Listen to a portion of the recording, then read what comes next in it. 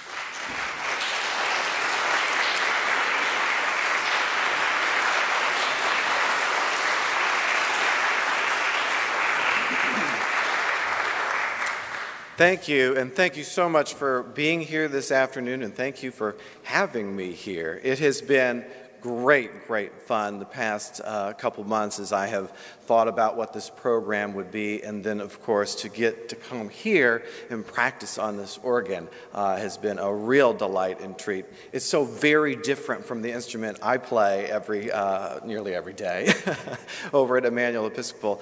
Uh, so, as I was thinking about uh, what I would play, I decided I wanted to do some things that were really tailored for this instrument in this space. Uh, this is a wonderful, eclectic American organ. And what you're hearing today is very much the brainchild of that gentleman sitting right there in the third pew, John Shannon. Uh, and what a marvelous uh, job you did in designing the instrument.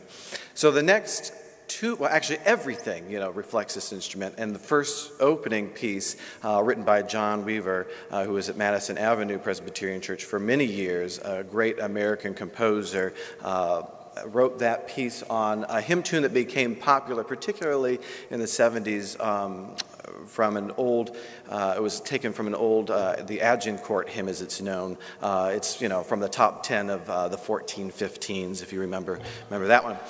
Uh, but it got set to the, uh, to the text, Oh Love, How Deep. and it's a really great way to show the organ in its many colors.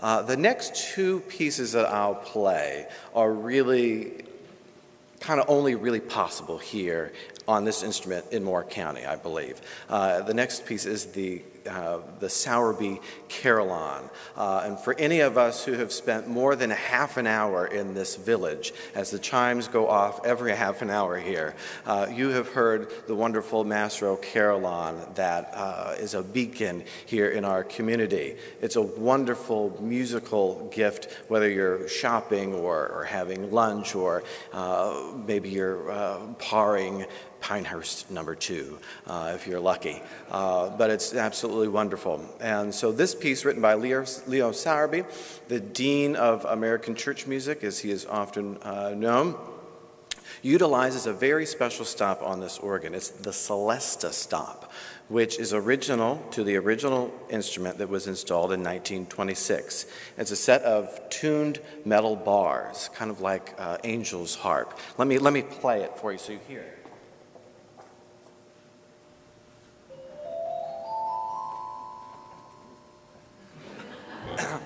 And so uh, that's a, a, spectacular, very special uh, percussion sound. And so I'll be utilizing uh, that stop quite a bit. I'll be utilizing the chimes on the organ.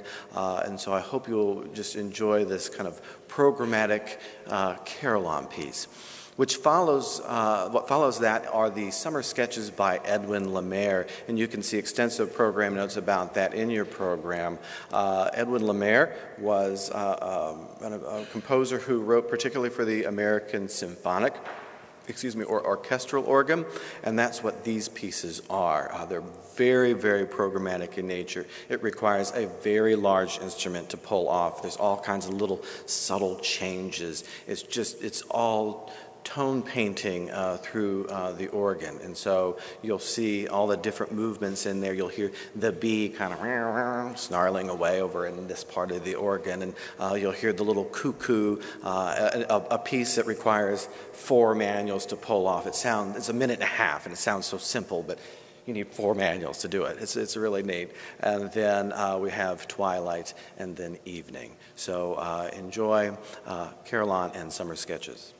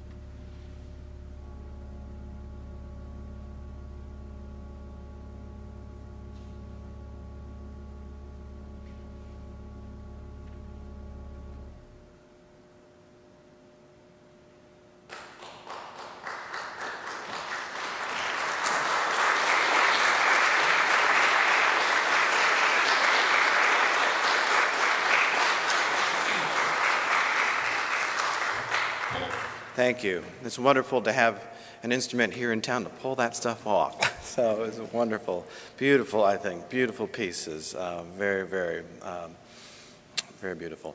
Uh, the next group of pieces that I will play uh, will be with my friend Chris Dunn. Um, and these, this, these three pieces are by um, a gentleman named Graham Farrell who actually grew up here in our community uh, in the 40s and 50s. He was baptized at Emmanuel Episcopal Church in 1941. Uh, I got to know him uh, through one of our parishioners who happens to be a cousin who says, Oh, by the way, my cousin is an organist choir master. Oh, oh okay. He grew up here. I'm like, Really? And so, anyhow, we uh, made a friendship and he sent me some music, uh, which uh, I think is just really absolutely wonderful music. It incorporates a jazz idiom. And so, for the jazz lovers in the group, you'll really uh, enjoy the harmonies that you will hear in this. Um, each of these pieces is based on a hymn tune. Uh, the last hymn tune you'll know for sure which is Duke Street. Uh, you know, Jesus shall reign where the sun. You know that one for sure. Um, the the first one, Wareham, you probably know in some way, uh, but I can almost guarantee you, unless you are the most diehard Episcopalian, that you probably don't know the tune of Saint Bride. Uh, it is set to the text of Psalm 130, "Out of the depths." And as it happens, the hymn is number 666 six in the hymnal. Anyway, uh, it's, it's got this incredible kind of driving quality to it. It's kind of percussive in nature. The trumpet just kind of lets go. It's wonderful in this space because there's so much uh, uh, reverberation. And so, um, but it sounds something like out of an, an Italian art film. Uh, so just know that once we get through that movement, ah, that, you know, there is redemption in movement number three. So thank you.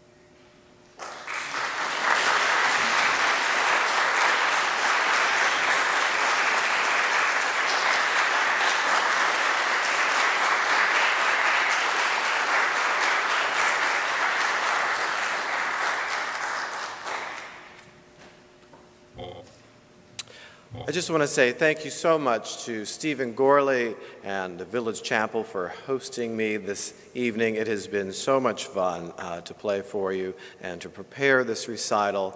Uh, Stephen is such a wonderful musician. We're so uh, happy, or at least I'm happy, to have him here uh, in the Sandhills. He's a fantastic colleague and a fantastic uh, performer, player, church musician, uh, a visionary who has already done some absolutely wonderful things following in the wonderful shoes of John Shannon. Uh, the last two pieces that I will play for you this evening uh, is the are, or are the uh, the Fountain Reverie by Percy Fletcher, and then the Variations de Concert. Uh, Percy Fletcher didn't have a huge um, uh, organ output, and a lot of his music has kind of been lost to time. It's oftentimes kind of sweet and very much uh, a part of what was the early 20th century. But this fountain reverie, something to just kind of uh, it's just an image. It's just something to kind of daydream about. Uh, so you, you hear this kind of running pattern in, in, the, in the right hand, and so you can kind of see a fountain going along, and then there's this beautiful kind of saccharine melody. Uh, it's just a, a lovely thing, uh, and it works so well on this instrument. Uh, and then I will conclude the program with uh, Joseph Bonnet's Variations de Concert, uh, complete with big pedal solo and all kinds of things like that. So uh, thank you.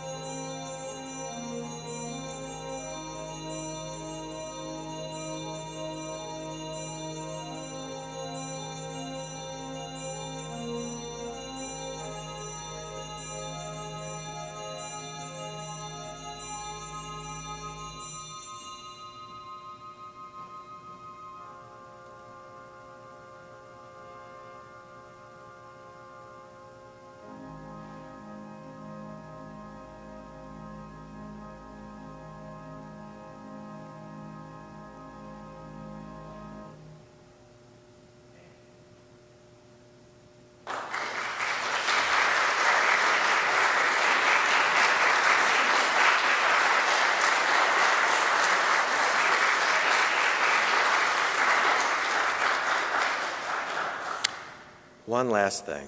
I just, you can never say thank you enough. So I just want to thank all the folks who came here. A few people came here from out of town, uh, Nancy and the Hamiltons. I, I really want to thank you for coming all this way. And for all my beautiful friends from Emmanuel Episcopal Church, thank you. I know you've all had a busy weekend, but thank you so much for being here. It means a lot.